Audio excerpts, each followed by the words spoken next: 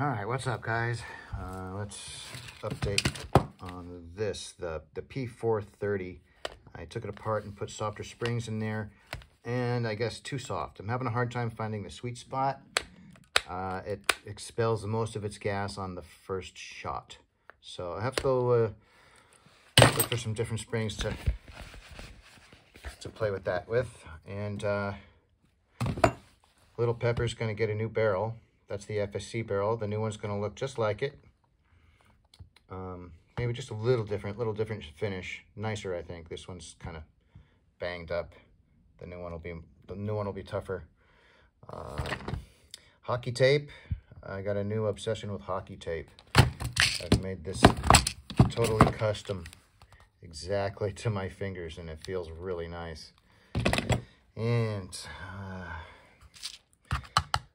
uh, Big Pepper with the Grimberg. What's that red shit? I don't know, but it looks cool. Um, okay, what's new with this one? Not much, but we got something new coming up. That's a 12.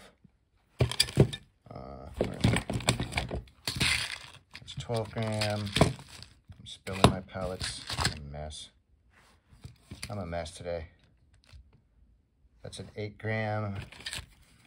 That's a 16 gram. Look at that thing. Yeah, that's coming up. Um, I do believe it's going to need a longer barrel, but we're going to test it with Big Pepper and its Grimberg barrel. And so that'll be fun, and I might have to have surgery. I'll talk more about that. Stay tuned for all the fun stuff coming up. Thanks for watching.